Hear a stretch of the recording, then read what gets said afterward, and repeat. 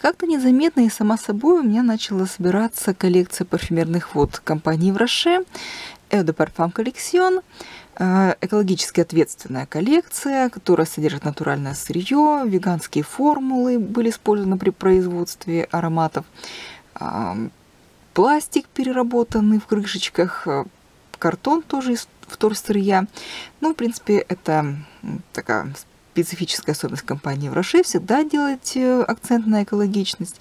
И вот в данной коллекции э, очень много пунктов, э, благодаря чему эта коллекция и является экологически ответственной.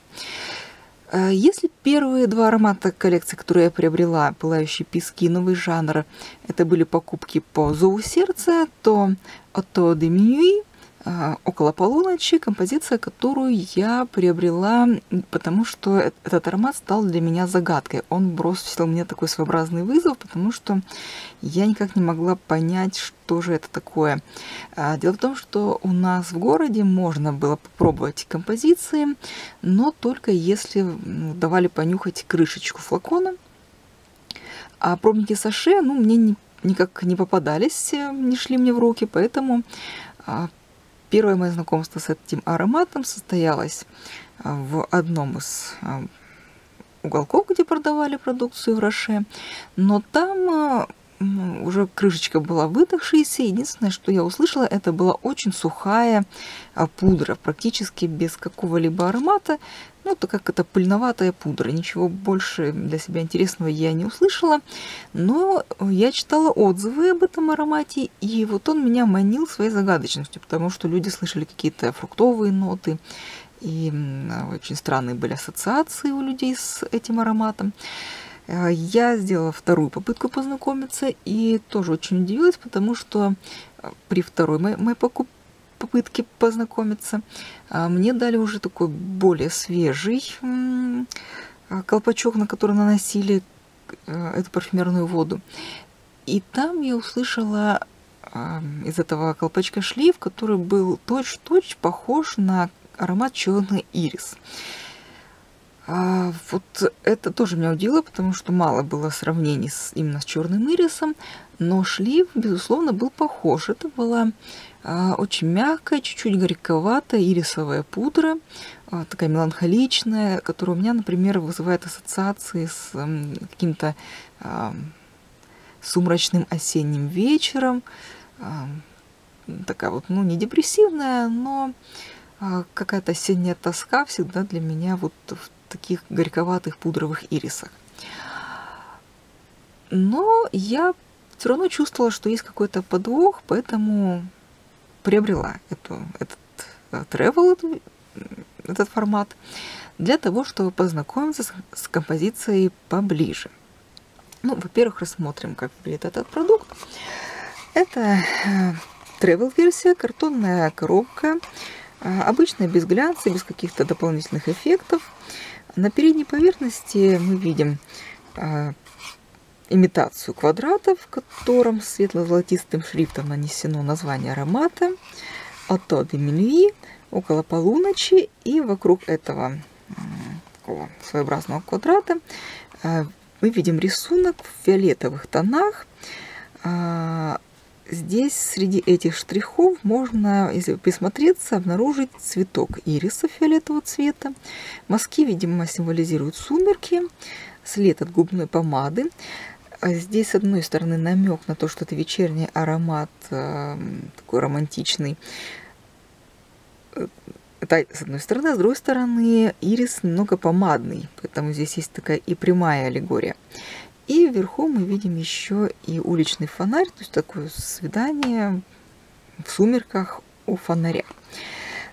В самом низу коробки золотистым тонким шрифтом название компании Ивраше и эмблема компании. И очень бледным серым шрифтом объем 10 мл указан. На боковых поверхностях ничего нет. Здесь уже нанесен русификатор, а, парфюмерная вода, чувственный сладкий аромат. Перевод э, адаптированный русский в объятиях ночи. На самом деле, точно перевод около полуночи. Ну вот, э, в объятиях ночи тоже такая версия. А, ну, тут тоже такая информация больше касается дистрибьютора. Внизу батч-код, вверху а, светло-серым, очень бледным а, таким рисунком эмблема компании Ивроше. И сзади у нас полезная информация об аромате на французском и английском языках. Чувственный гурманский аромат. Около полуночи под темно-синим небом, усеянным звездами. Сконцентрированные эмоции первого свидания. Ну, то есть вот эти эмоции, они концентрированы непосредственно во флаконе. Указан состав и адрес компании Ивраши, а также электронный адрес. Сайт компании.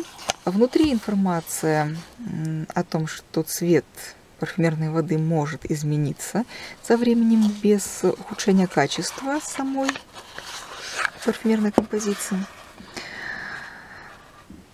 Флакон колба стеклянный, очень простых форм, а, с толстым дном. Трубочка, кстати говоря, не касается дна, поэтому в данном случае у нас будут потери парфюмерной воды. Черная пластиковая крышка, без каких-то затей. На верхней поверхности рельефная эмблема компании Ивроше. Внутри ничего такого особо примечательного. Ну, большие порожки-фиксаторы для того, чтобы плотно крышка надевалась. Действительно, крышки у этой серии надеваются очень плотно. Черный механизм пульверизатора. Сопла светло-серого, белого цвета, можно сказать. И наклейка такая чуть-чуть глянцевая которая полностью повторяет, э, в общем-то, обложку на коробочке, первую, фронтальную сторону коробки.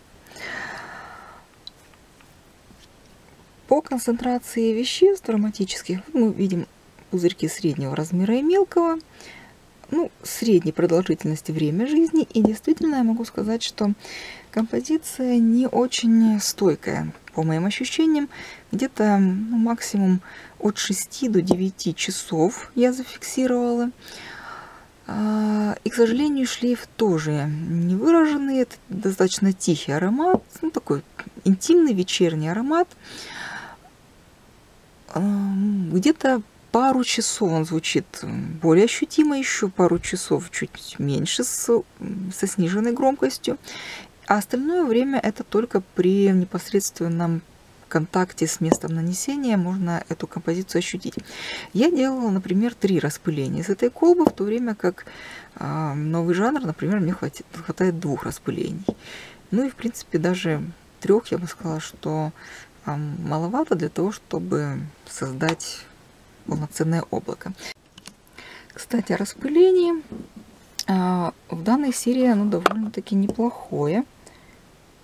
Вот такая струя напористая, средней дисперсности.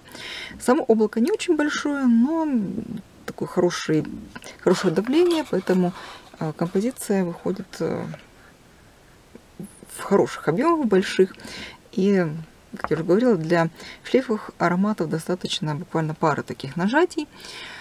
Но с э, более легкими композициями 3-4, я думаю, тоже вполне нормально. А, ну и о самом аромате я расскажу во второй части видео. И заодно скажу, почему мне пришлось сравнивать его очень долго сразу с тремя, даже с четырьмя совершенно различными ароматами.